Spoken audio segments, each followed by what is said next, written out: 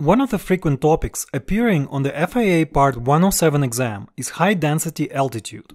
In this video, I will explain what you need to know on this topic and go over several questions that often appear on the exam. Most of the questions in this video are coming from the study guide I used to prepare for the exam, which I successfully passed with a 90% score in 2022. Check out the video on how I prepared for the exam in the link above and in the description. Take a look at the study guide I used in the description as well. The first thing to remember is that manufacturer information on aircraft performance is made in reference to certain benchmark conditions. These conditions are typically given at sea level with temperature of plus 15 degrees Celsius or plus 59 degrees Fahrenheit and atmospheric pressure of 29.92 inches of mercury or 1013.2 millibars. This is called a standard day, and you should remember these numbers as they are often tested on the exam. Any deviations from these measurements will change the air density and will affect the performance of an aircraft. Visualize a certain volume of air. Air molecules are predominantly oxygen and nitrogen. If air molecules are close to each other, as in this figure, the denser the air is. This will produce strong performance of an aircraft as more air molecules will pass through its wings and will yield higher rates of climb, takeoff and thrust. Conversely, spread out air molecules will result in worse performance since a smaller amount of air will pass through the aircraft's wings. To attain the comparable performance under the less denser air, the drone must work harder. Thus, factors that affect the air density will change the performance of the aircraft. The term density altitude refers to altitude corrected for deviations of temperature and atmospheric pressure from the standard day condition I mentioned above. In layman terms, it is the actual altitude at which the plane feels it is flying and is given as a height above mean sea level. The term comes from the fact that the air density decreases with altitude. Thus, a high density altitude means that the density of air is reduced and it will negatively affect the aircraft performance. The related term to density altitude is the pressure altitude, which is the altitude when you control for the deviation of atmospheric pressure from the standard day. Pressure altitude is like a stepping stone towards defining density altitude because density altitude controls for both temperature and air pressure, while pressure altitude controls only for air pressure.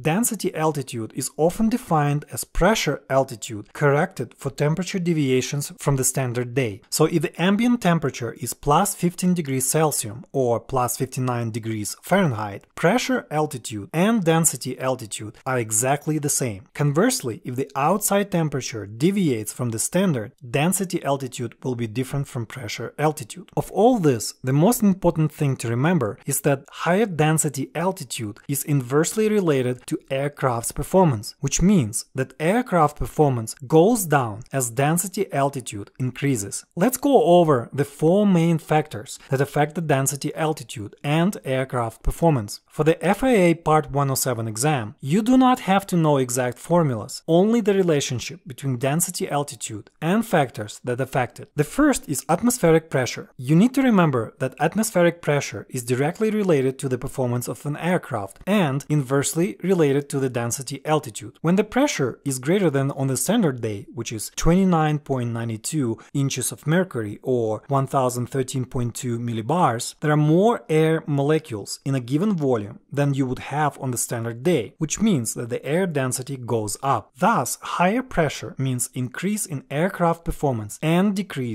in density altitude. Next is temperature. When the air temperature rises, the air molecules have more energy and are scattered farther apart. This means that the air density goes down and you have less air molecules to pass through aircraft wings, producing worse performance. Thus, temperature is inversely related to the aircraft performance and positively related to the density altitude. Then there is altitude. As you probably know, air becomes thinner the higher you go, meaning the amount of air molecules per fixed volume decreases. Thus, altitude is inversely related to the performance of an aircraft, while positively related to the density altitude. Finally, there is humidity, which is the amount of water vapor in the air. Water vapor has less mass than air molecules, but it occupies relatively the same amount of space. This means that increases in humidity will produce less dense air, and the performance of the aircraft goes down. Thus, humidity is inversely related to aircraft performance and positively related to density altitude.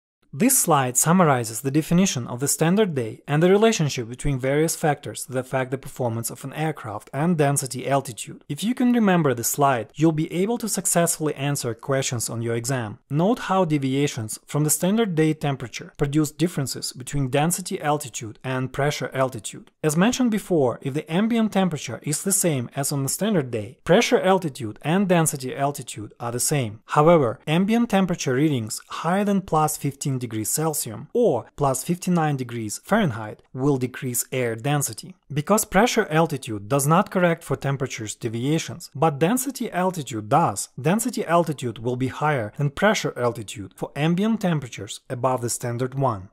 Let's take a look at several questions that often show up on the exam. The first question asks you to identify the effect of high density altitude on aircraft performance. We know that the higher the density altitude is, the lower the performance of an aircraft is. Thus, the answer is C.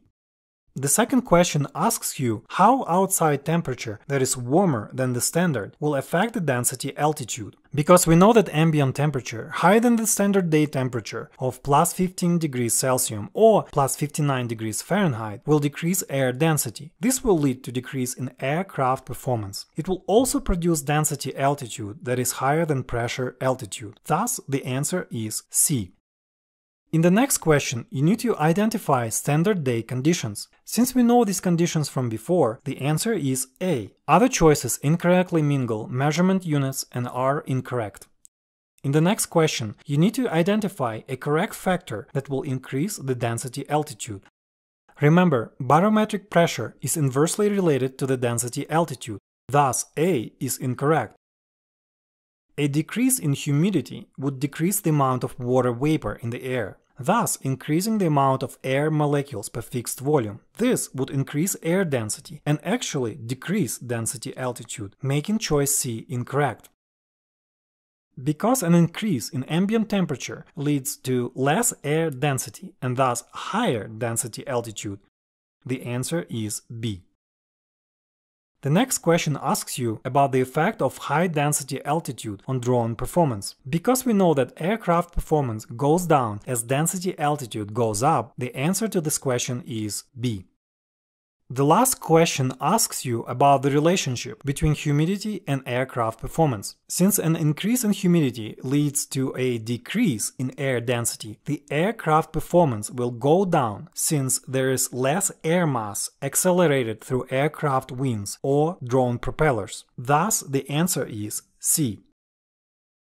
This is it for today's tutorial. If you found this video helpful, please like and subscribe to our channel. We will have more tutorials that will help you prepare for the FAA Part 107 exam. We also regularly post travel guides and photography tutorials. Also, feel free to ask any questions if you need clarifications for the material covered in this video.